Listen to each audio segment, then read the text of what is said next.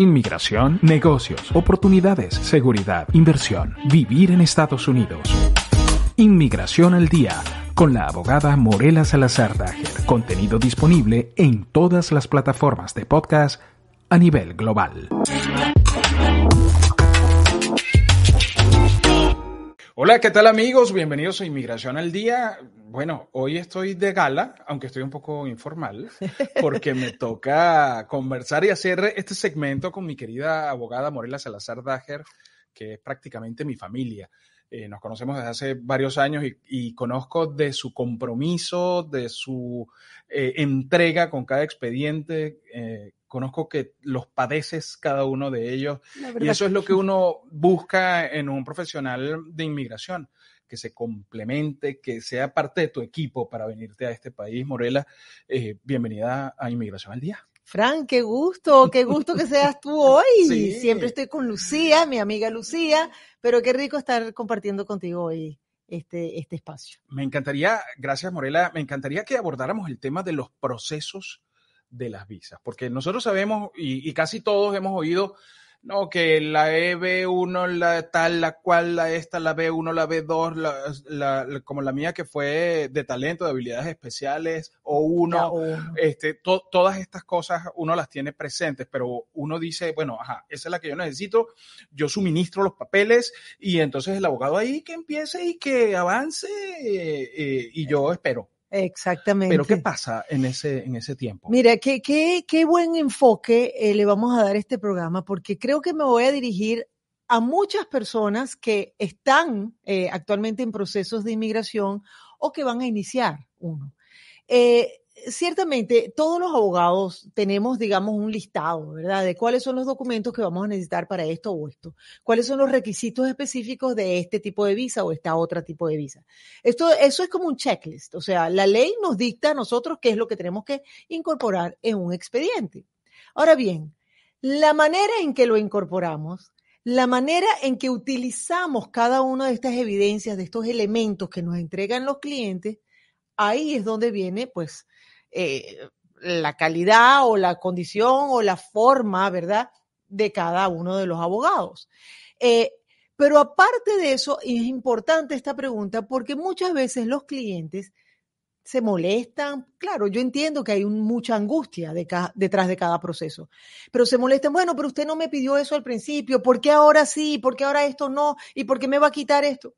Señores, porque en la medida que uno se entrega al expediente, como bien dijiste, Frank, uno va evaluándolo, le va dando forma, es, como, es tu creación, ¿no? Claro. Y cada eh, documento le da un poquito más de forma, de color, de armonía a ese expediente. Estupendo lo que acabas de decir porque es una creación. Es como si tú fueras un artista plástico, tienes tu lienzo y dices, bueno, pero aquí hace falta más azules.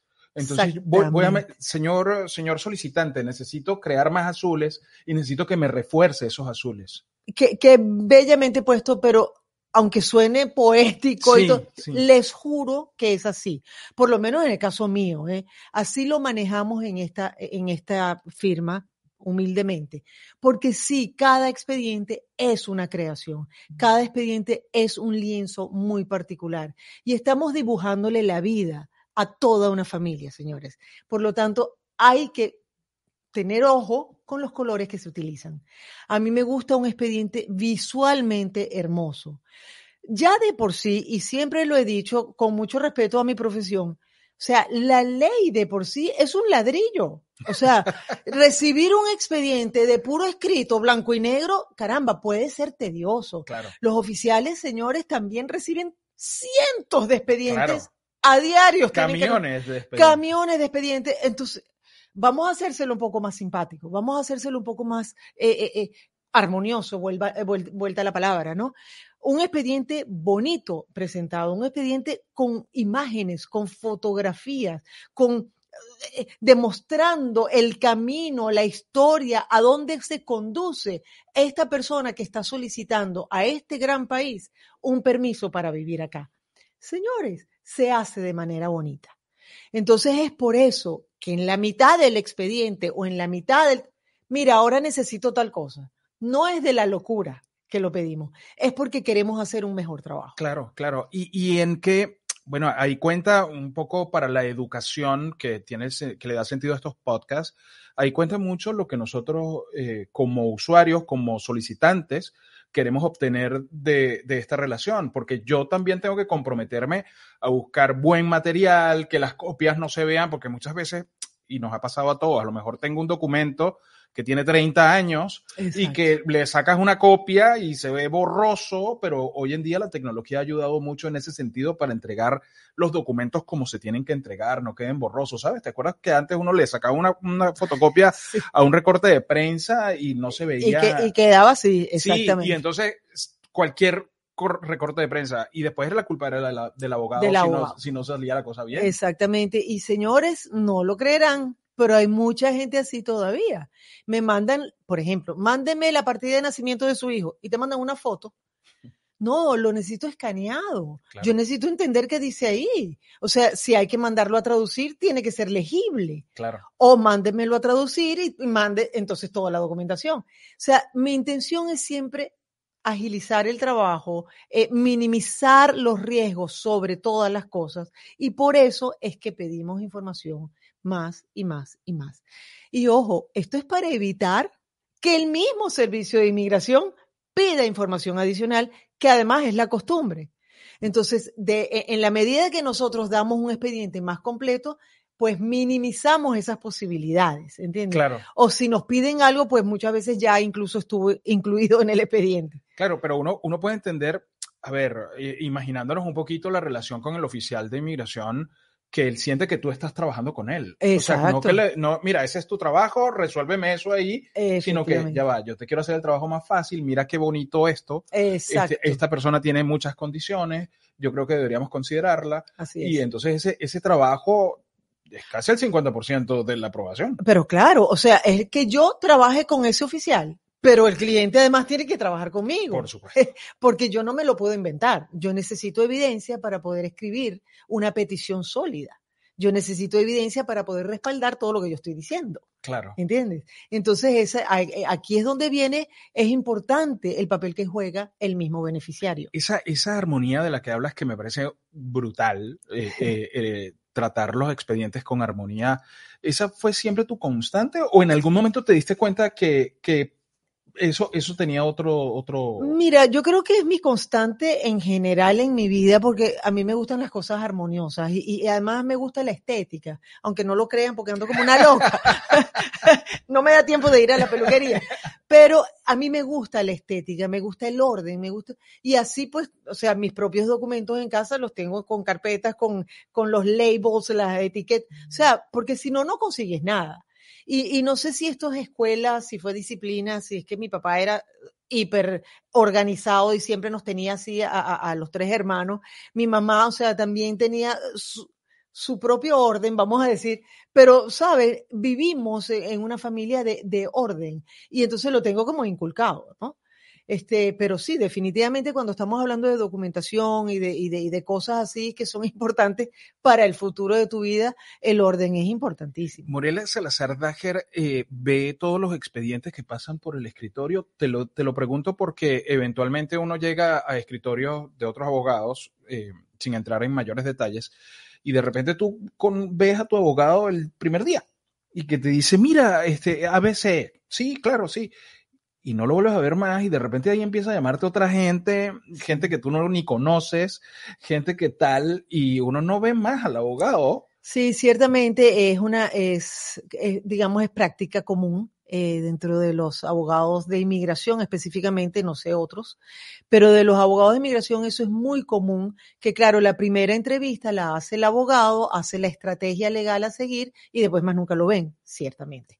Eh, en mi caso, eh, realmente evito que eso sea así. ¿Por qué? Primero, soy una firma boutique, es una firma muy pequeña. Aquí la cabeza legal soy yo. Por lo tanto, todo expediente que salga de esta oficina lo tengo que ver, lo tengo que leer y lo tengo que firmar. Eso es bueno por un lado y malo por otro, porque toda la responsabilidad recae sobre mí. Pero afortunadamente tengo un equipo, un equipo impecable. Aquí todos, no sé cuál sabe más que el otro, de verdad súper bien entrenados, súper bien documentados, siempre están estudiando un poco más. Yo hago el esfuerzo, además de tener clases aquí, eh, siempre de, de, cualquier proceso nuevo, de cualquier visa nueva, eh, pago, pago actualizaciones para que ellos también las escuchen, ¿no? Y, y, podamos estar al día en todas las cosas. Pero sí, efectivamente, yo veo todo. Cuando viene un cliente, lo veo yo y hago la estrategia. Generalmente también hago seguimiento con ese cliente. Antes del que el cliente vaya a una entrevista consular, siempre va a hablar conmigo para yo prepararlo para esa entrevista. Y al salir de la entrevista, créanme que estoy con el teléfono en mano esperando que me llamen para, para avisarme cómo, cómo fue el resultado. Una infidencia. Antes de nosotros entrar a grabar este podcast, eh, Morela recibió a una persona que iba a ser un solicitante eh, y la estuvo atendiendo y estuvo respondiendo todas sus preguntas.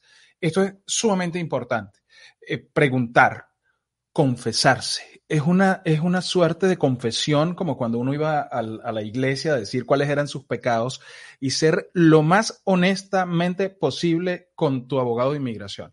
Tengo Totalmente. esto, tengo esto, tengo esto, ¿qué me falta?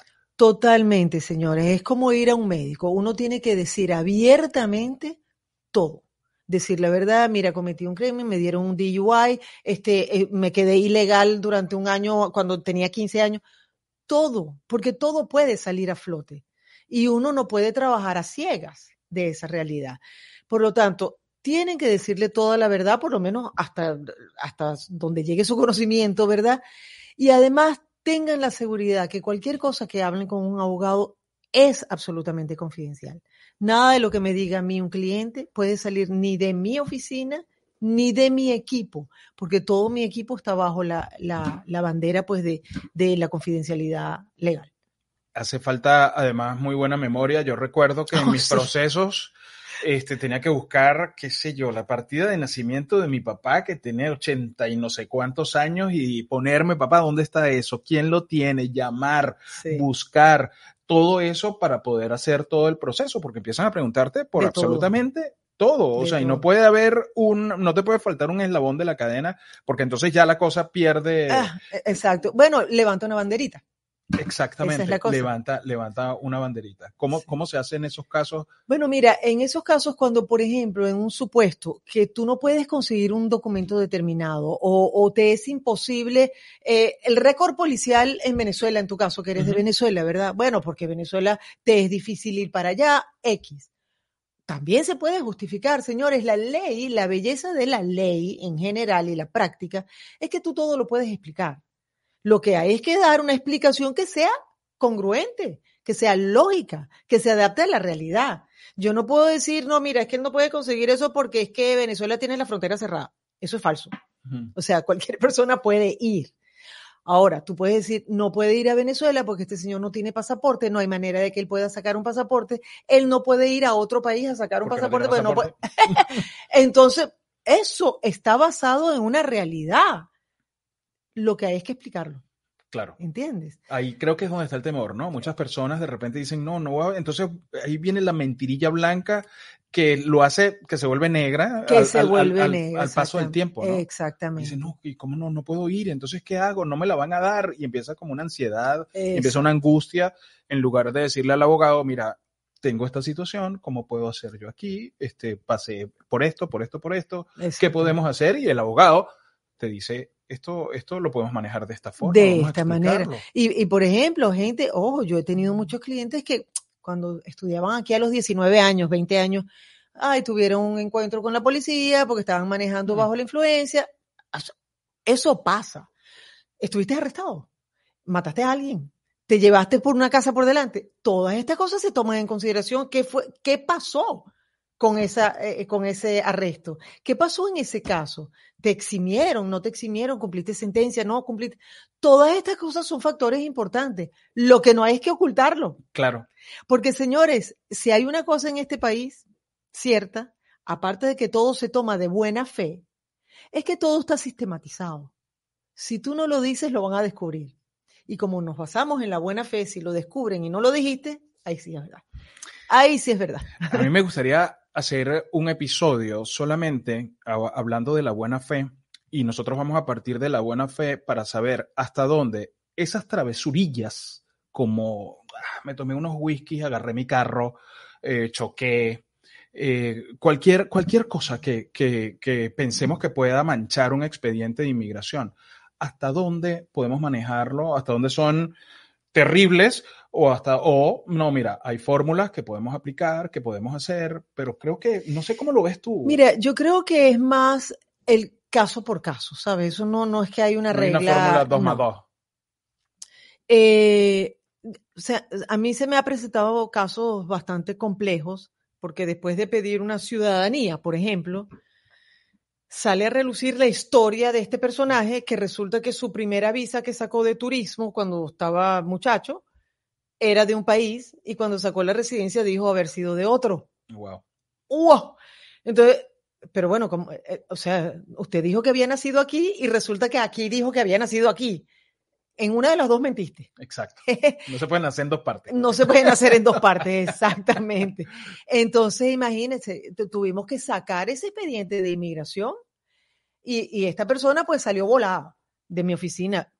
Pero ¿cómo no me dice eso? Claro, ¿Entiendes? claro. Entonces eso ha podido traer una, y no sé qué pasó al final con esta persona, pero eso pueden revocarle su residencia permanente. Chao. ¿Y eso, ¿Y eso sucede por omisión o adrede? Nunca se supo. Bueno, nunca lo supe, pero tú no puedes decir, eh, Claro, Fran, nací que en- tú naciste nací en Caracas, y- y, después nací resulta en Bogotá. Exacto. No puedo decir, o sea, No o lo uno o el otro. A Tú ver, puedes decir un día que tú eres ciudadano venezolano y, el otro día ciudadano colombiano, porque tienes dos pasaportes. claro. Pero nacer claro. es nacer Es- en un solo el lugar. único lugar donde puedes En nacer. el único lugar, exactamente. Y entonces esas cosas suceden, ¿sabes? Wow. Wow, wow. More, muchísimas gracias. Este, qué rica conversa, además. Nos fuimos por, uno, por unos lugares ahí, Sí. unos, unos recovecos bien interesantes eh, en esta conversación. Eh, bueno, porque a veces uno llega, tiene la cita, entrega sus papeles y se va a su casa a comerse las uñas, a esperar a ver qué pasa Exacto. y de repente no está al tanto de qué es lo que está pasando con su expediente, cómo se están arreglando las cosas. Exactamente. Eh, ¿te, te gusta que le hagan seguimiento a los procesos o, o prefieres que la gente te traiga eso y espérate que yo te Bueno, llamo? me tienen que dar un poquito de tiempo, sí. Hay, hay, bueno, gente de gente, todo el mundo tiene una personalidad particular. Hay gente que te llama todos los días, tres veces y cuatro veces. Hay otros que no te llaman más nunca. No se puede ser ninguno de los dos extremos. Pero sí nos tienen que dar un poquito de tiempo además para evaluar toda la documentación, porque, señores, tenemos que leerlo todo, Claro. ¿sabes? Y ponerlo en orden. Claro. En el canal de YouTube de SDA Immigration van a poder ver este video, también en el canal de YouTube de BDM Radio, escucharlo en podcast on demand en las principales plataformas a nivel global y escucharlo en vivo por Dale Play, por BDM Radio, todos los martes a las 11 y 30 de la mañana. No se lo pierdan, sdaimmigration.com ya debe estar en pantalla, seguramente, ya nuestra operadora lo debe estar colocando ahí y también lo pueden seguir por las redes sociales, arroba eh, SDA Immigration, eh, y ahí están poniendo información todo el tiempo, no se lo pueden perder. More, gracias por además recibirnos aquí en tu, en tu, en tu sala, en tu escritorio. Gracias a ustedes por venir. Claro que sí, feliz, esta es tu casa. Aquí el problema es que este, este problema lo van a tener si ustedes llaman para acá. Y es que ustedes van a llegar y después no van a querer irse. No van a querer irse. Ya es la tercera vez que renuevo mi, mi parqueo. Gracias, gracias. Chao, Fran, gracias. Inmigración, negocios, oportunidades, seguridad, inversión, vivir en Estados Unidos. Inmigración al día con la abogada Morela Salazar Dager. Contenido disponible en todas las plataformas de podcast a nivel global.